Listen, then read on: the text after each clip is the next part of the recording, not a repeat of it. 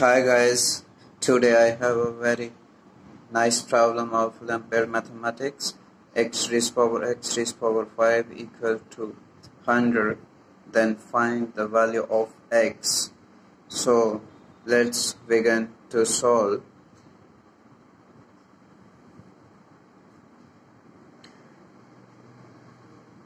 Multiply x raised power x raised power 5 equal to 100 so multiply this basis by exponent 5 so x raised power x raised power 5 multiply by 5 equal to 100 raised power 5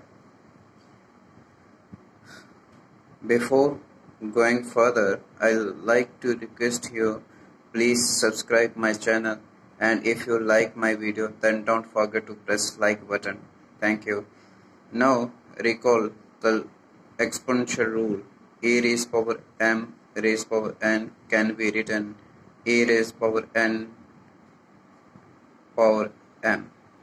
So this can be written like this x raised power 5 this power become here and x raised power 5 so I can also write this 100 10 raised power 2 and whole power 5 so x raised power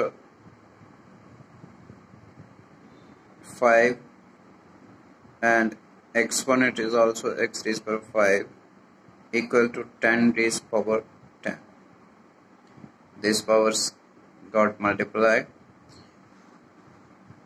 therefore their basis and exponents are same.